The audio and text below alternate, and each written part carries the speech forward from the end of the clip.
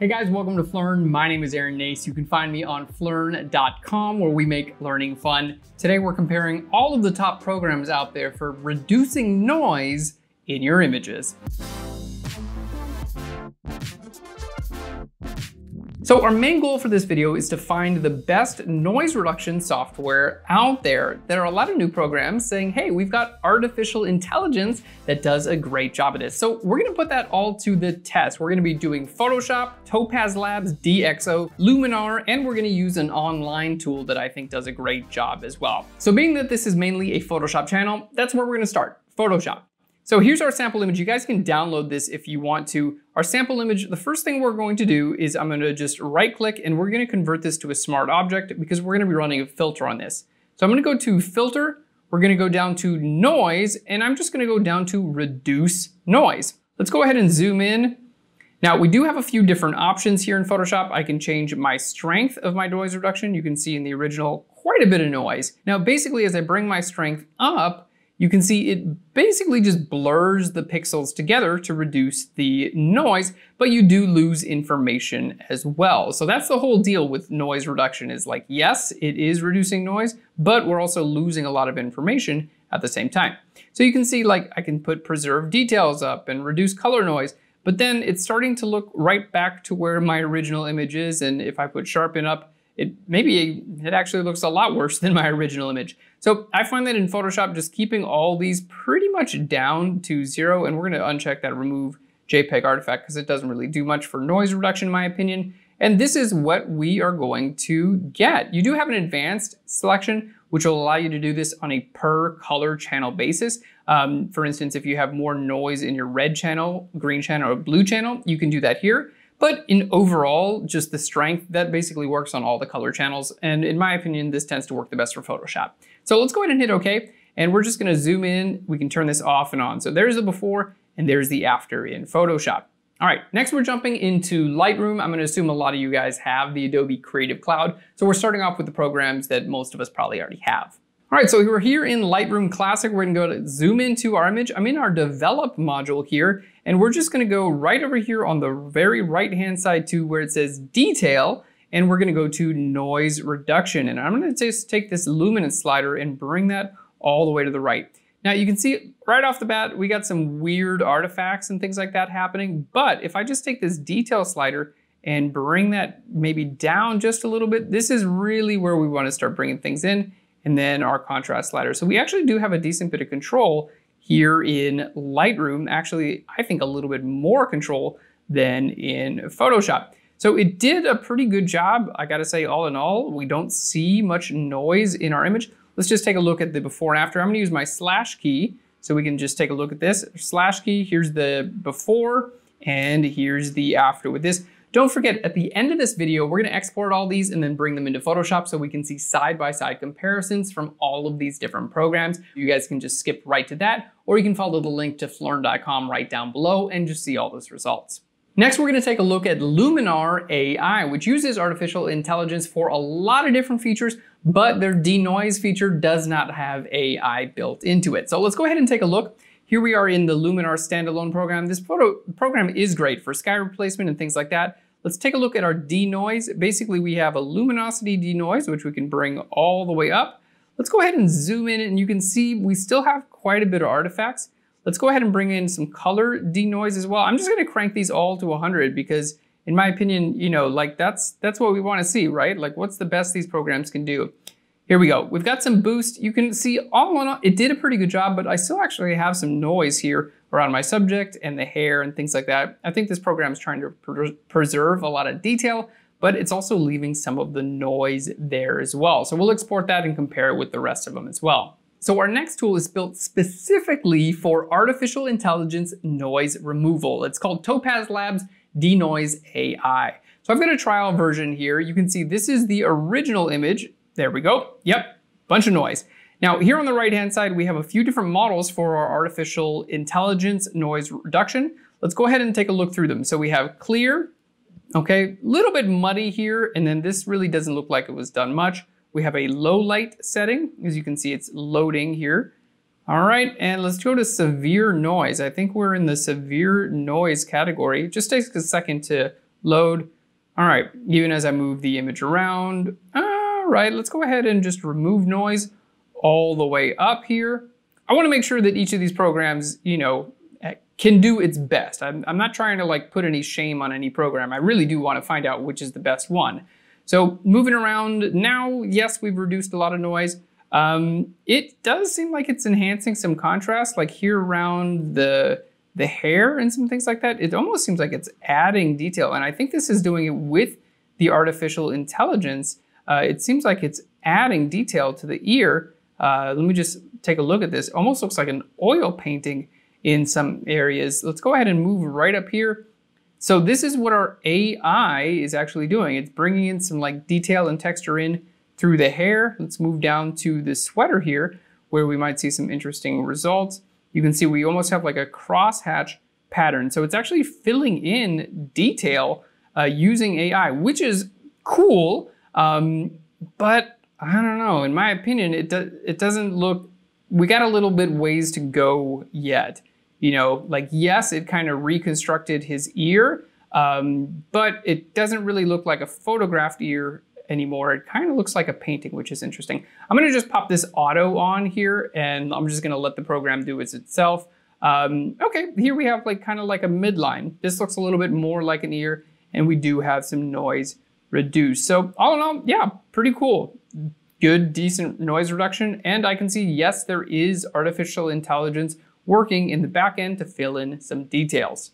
Next, we're using DxO Photolab, which gets a lot of great reviews online. Again, same exact image. Here's the before, and then with our DxO noise technologies, uh, this one will say that if you want to use like the best features, you have to use native raw files. So I'm using a JPEG, so I don't get access to these other ones, but we're just going to go ahead and bring our luminance denoising all the way up and we'll take a look at what we've got here. So it did leave some of this detail alone. We do see still some noise in these areas, no, no ear reproduction like we had in Topaz Labs, but all in all, we're doing okay with DxO PhotoLab.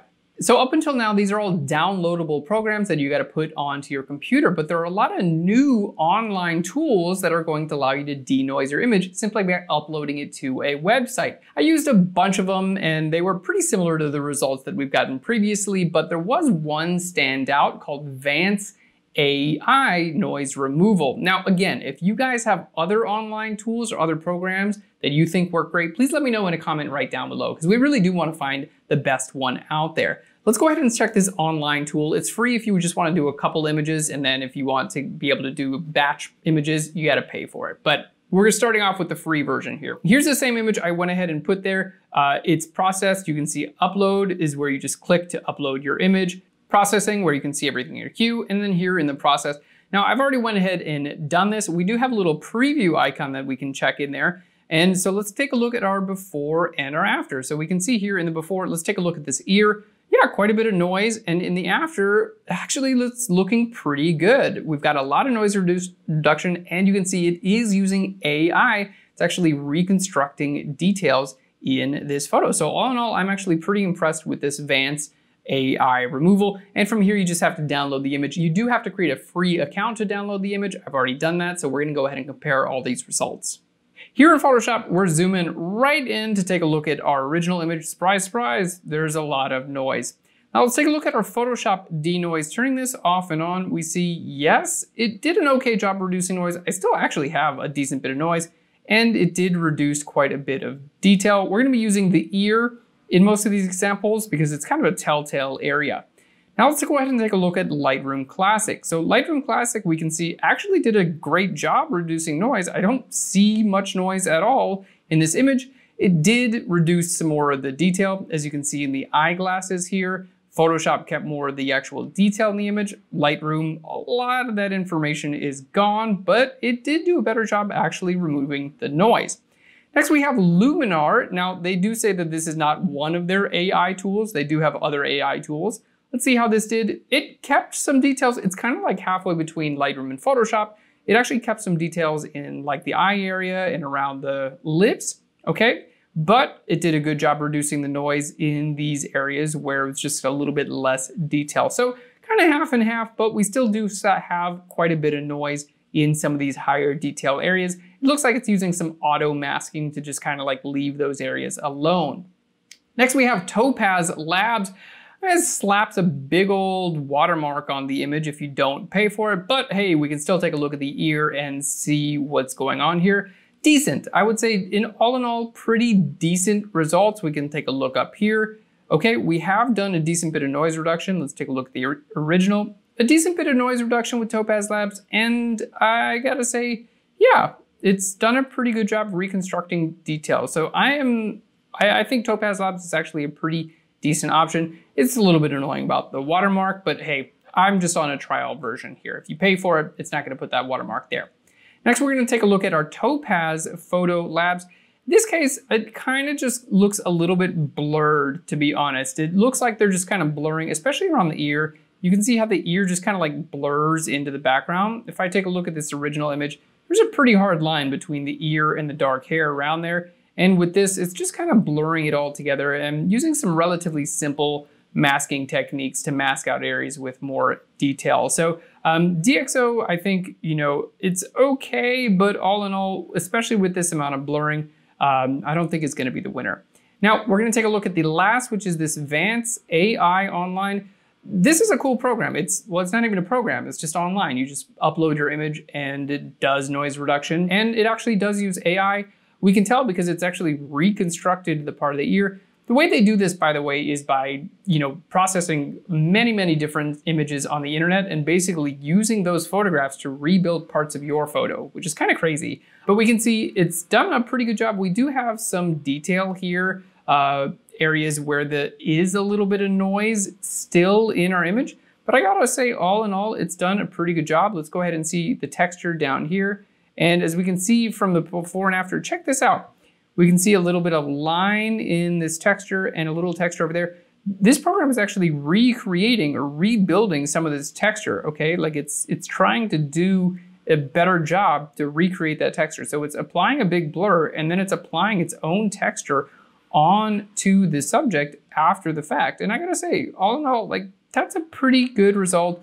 Pretty interesting to see where this artificial intelligence technology stacks up. Um, even when I'm zoomed out, you can kind of see some stuff here. So anything with like complex textures, complex details, I think that this is just a little bit tough. But as far as artificial intelligence goes, I think this Vance AI is actually my winner. Uh, next, we have the Topaz Labs. You can see it's not actually trying to reconstruct much details here. It's kind of leaving what we have there. Um, it does an okay job actually reducing de uh, detail but it doesn't do any type of reconstruction here. But yeah, I don't know. I, actually kind of prefer what the Topaz Labs is doing a little bit more. Um, even though the Vance AI might be using more AI, I think the results from the Topaz Labs are a little bit more natural. Yeah, I, in my opinion, I think the Topaz Labs might actually be the winner. Lightroom is just a quick and easy go-to. It does a little bit better of re removing noise than Photoshop, in my opinion. Um, but if you're looking for a little bit more detail, I think this Topaz Labs is the way to go. So I know I didn't do every piece of software, but I tried my best to see what were the top rated ones. And Then I tried a bunch of online stuff to figure out what was actually worth presenting in this video. If you guys have extra thoughts or software that you think works really well, be sure to leave it in a comment down below. And again, don't forget, you guys can download all of these 100% large sample images that doesn't make any sense, full size sample images, as well as this PSD so you can compare them on your own. On phlearn.com, just follow the link right down below. Thanks again. I'll Phlearn you later. Bye everyone.